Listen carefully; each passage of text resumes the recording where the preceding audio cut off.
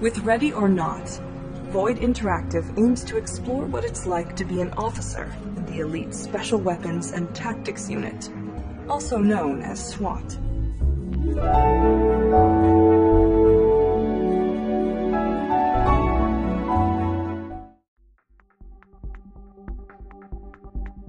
What's up everybody, DueRag back at it again with another video on Ready or Not. Today we're just going to be looking at a couple of things that were said over on their Twitter. It's going to be a very short video in case you couldn't tell. But let's just go ahead and get into it, huh? So what did they say? They give a little more detail as to what we're going to see in the alpha. This is what it says. In the alpha you'll be able to experience a sampling of the following features at launch. Single player, one map, co-op, one map, PvP multiplayer, three maps, 10 weapons, all tactical devices, all tactical deployables. Content will be subject to change and updates as the alpha progresses. See you soon. So because the Ready or Not community is completely insane, one maniac took the time to go through all the trailers, pictures, and weapons mentioned by the developers and jam-packed them all into an IMFDB page for Ready or Not. So if you wanted to, you can actually go to this page and see what all the weapons that are going to be featured in Ready or Not are. Just keep in mind that this isn't the full list of weapons because it hasn't actually been released just yet. The reason why I'm bringing this up is because I kind of want to play a little game with you guys. Well, technically for the people that are only in the alpha. It's called Can You Guess What Weapon is Going to Be in the Alpha? According to the Twitter post, they're only going to feature 10 guns in the alpha. So I am putting the link of this page in the description. I want you to go through and write down 10 of those weapons and put them in a comment down below just to tell me what you think. I'll somehow go into the alpha, check out all the guns, and see who is the most correct. Is there a prize? Uh,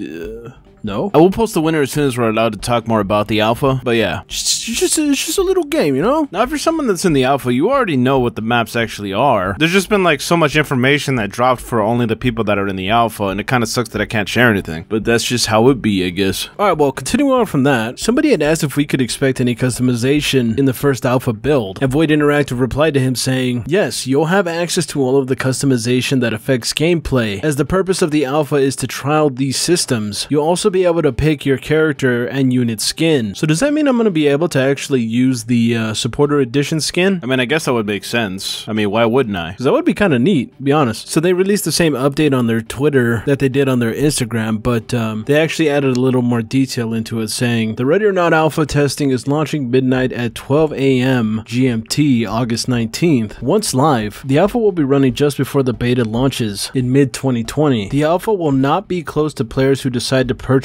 after the launch. Yeah, so I've noticed that there's a lot of people that seem to be asking that question of, you know, uh, is the alpha still going to be open? Or how do I get into the alpha? And the answer is, if you want to get into the alpha, you have to purchase that $120 supporter edition. The alpha is going to run from August 19th through one week before the beta, which is June of 2020. The alpha is going to have times when it shuts down for updates, cycling out content, or fixing bugs, but that's just standard stuff when it comes to an alpha. I thought that I would just add it in here because there's just been a whole lot of questions about the same thing over and over again. So there isn't going to be a whole lot of content when it comes to Ready or Not. Like the only people that are going to get a whole lot of content out of the alpha are the people that actually got into it. So one of the Redditors over on the Ready or Not Reddit was actually asking me if I wanted to do a series on nothing but Ready or Not memes. Like just have like a, I don't know, like a 10 minute video or 30 minute video once a week of nothing but Ready or Not memes. The reason I didn't cover the Ready or Not memes was because I just wanted to get all the information, but now that the information is going to be a little scarce, I think I might go back and look at all the funny memes and just upload them like once a week. Of course, it's going to be heavily edited, like, you know, like, I don't know, like a PewDiePie video or something. I don't know. What are your guys' thoughts on that? I'm going to be doing a meme video on recent events that covers something else, not Ready or Not in particular, but it's basically like a taste of what a Ready or Not meme series would be. So stay tuned for that and tell me what you think down in the comments below. If you like the video, be sure to like it, subscribe, ding the bell, share the video. If you want to support me, check out my NordVPN link that's down below. Only $2.99 a month. It really helps actually. Or if you want to be one of those cool guys, send me two bucks on my Patreon. And with that being said, I want to thank everybody for coming out to watch and I guess I'll catch you in the next one. Bye bye.